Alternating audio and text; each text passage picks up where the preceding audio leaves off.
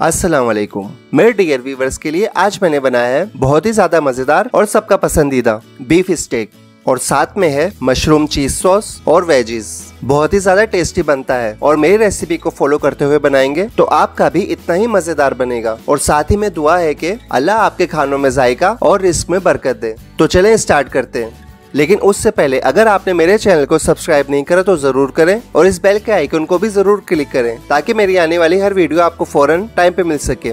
बिस्मिल्लाहिर्रहमानिर्रहीम। Beef steak बनाने के लिए सबसे पहले मैंने लिया है बीफ हाफ़ के जी अंडर कट का है और देखे मैंने इसको स्टेक की शेप में कट कर लिया है।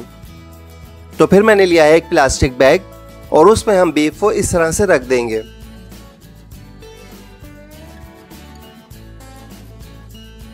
और इसको किचन में मौजूद किसी भारी चीज़ से कूट लें। मैंने मसाले कूटने वाला लिया है। और इसकी मदद से मैं बीफ के ऊपर हल्के हल्के से चोट लगा दूँगा। इसका रीजन ये है कि इसकी वजह से बीफ के रेशे सॉफ्ट हो जाते हैं और स्टेक पकने में बहुत ज़्यादा नरम बनता है। देखिए, इस तरह से इसका साइज़ ज़्यादा बड़ा हो चुका है और अभी से बहुत ज़्यादा सॉफ्ट हो चुका है। और इस तरह से हम सभी बीफ के पीसेस को कूट लेंगे।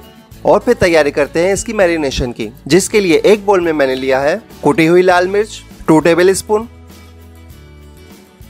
काली मिर्च powder one tablespoon paprika powder one tablespoon oregano half tablespoon नमक half tablespoon mustard powder half tablespoon लहसुन का paste one tablespoon soya sauce three tablespoon Worcester sauce three tablespoon सफ़ेद सिरका थ्री टेबल स्पून अब इसको एक चम्मच की मदद से अच्छी तरह से मिक्स कर लेंगे, ताकि तमाम स्पाइसेस आपस में अच्छी तरह से मिक्स हो जाएँ। मैरिनेशन का मिक्सचर तैयार हो चुका है। इसमें हम ऐड कर देंगे बीफ का पीस और उसको इस मसाले में अच्छी तरह से मैरिनेट कर देंगे।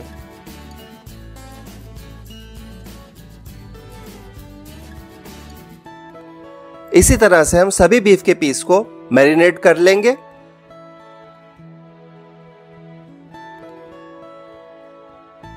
देखिए बीफ के तमाम पीस अच्छी तरह से मैरिनेट हो चुके हैं। अब मैं इसको फ्रिज में 10 से 12 घंटे के लिए रख दूँगा, क्योंकि बीफ स्टेक के लिए बीफ को मसालों में अच्छी तरह से मैरिनेट होना ज़रूरी है। 12 घंटे गुजर चुके हैं। अब मैंने लिया है ग्रिल पैन और उसमें ऐड करा है ऑयल हाफ़ कप और उसके ऊपर हम ऐड कर देंगे बीफ स्टेक के पीस चूल्हे की फ्लेम को मैंने लो पर रखा हुआ है। इसको एक ही साइड से 10 मिनट के लिए पकने देंगे। 10 मिनट गुजर चुके अब मैं इसकी साइड चेंज कर दूँगा। देखिए बीफ एक साइड से पक चुका है। अब दूसरी साइड से भी इसको 10 मिनट के लिए पकने देंगे, क्योंकि मैंने अंडर कट का पीस लिया था। तो इसको पकने के लिए दोनों साइड से 10-10 मिनट का टाइम चाहिए होता है, जिसमें ये अच्छी तरह से गल जाता है। लेकिन अगर आपको अंडरकट का गोश्त ना मिले तो आप रान या दूसरी जगह का गोश्त भी ले सकते हैं। लेकिन फिर उसको पकाने की टाइमिंग आपको ज़्यादा देनी पड़ेगी। आप चाहे तो फिर उसको कवर करके भी पका सकते हैं।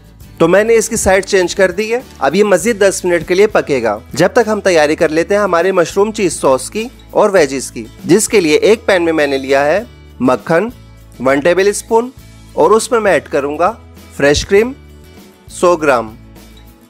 चूल्हे की फ्लेम को मैंने लो टू मीडियम पे रखा हुआ है और इसको मिक्स कर लेंगे।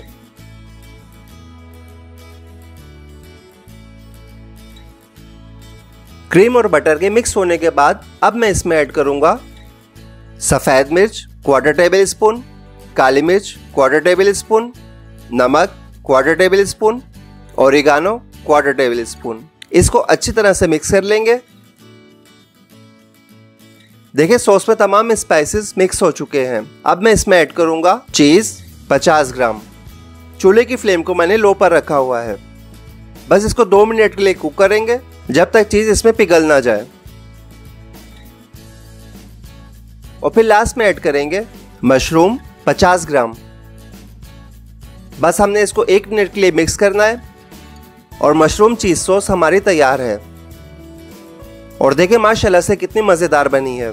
तो इसको साइड में करके अब हम तैयारी कर लेते हैं हमारी सब्जियों की, जिसके लिए एक कढ़ाई में मैंने लिया है ऑयल, टू टेबल स्पून, और उसमें मैंने ऐड कर दी है गाजर, हाफ़ कप, जिसको मैंने बारीक कट किया हुआ है। मटर, हाफ़ कप। बस इसको दो मिनट के लिए फ्राई करेंगे। और फिर इसमें ऐड करेंगे शिमला मिर्च, एक अदद, जिसको बारीक कट किया हुआ है। प्याज, एक मीडियम साइज़ का, इसको भी मैंने रिंग्स की शेप में कट किया हुआ है। बस अब हमने इसको एक मिनट के लिए मिक्स करना है। और फिर ऐड कर देंगे कुटी हुई लाल मिर्च one tablespoon oregano half tablespoon नमक हाफ़ टी स्पून आप अपने टेस्ट के मुताबिक भी मिक्स कर सकते हैं।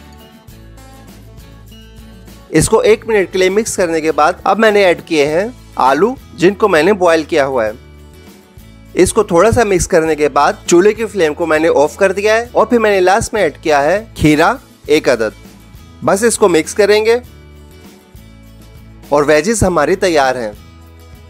अब हम आते हैं हमारे स्टेक के पास, जिसको दूसरी साइड से पकते हुए भी 10 मिनट हो चुके हैं।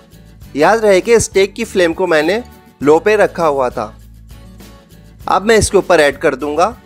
इसकी मैरिनेशन का मिक्सचर ये मैरिनेशन का मिक्सचर ऐड करने के बाद इसको दोनों साइड से मजीद दो दो मिनट के लिए कुक करेंगे, जिसकी वजह से इसका टेस्ट डबल हो जाएगा। देखिए, इसको पकते हुए दो मिनट हो चुके हैं। इसकी साइड चेंज करेंगे।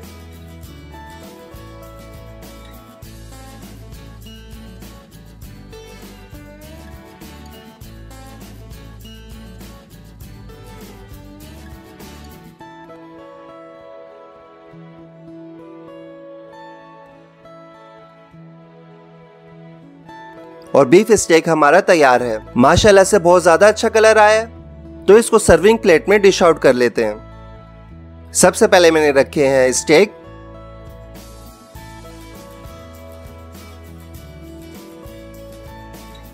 और साथ ही में हम ऐड कर देंगे हमारी स्पाइसी सब्ज़ियाँ।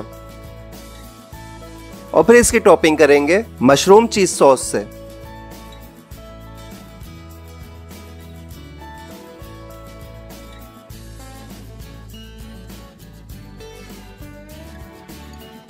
माशाल्लाह से ना सिर्फ़ दिखने में ज़्यादा अच्छा लग रहा है, बल्कि खाने में इससे भी ज़्यादा डबल टेस्टी है। स्टेक का जायका स्पाइसी और जूसी है और साथ में मशरूम चीज़ सॉस इसको बहुत अच्छा और डिफरेंट जायका दे रही है।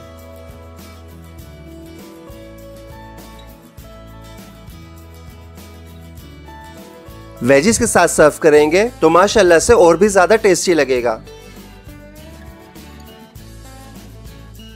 मेरी रेसिपी को फॉलो करते हुए बनाएँ। इनशाला घर में सभी से तारीफ़ मिलेगी।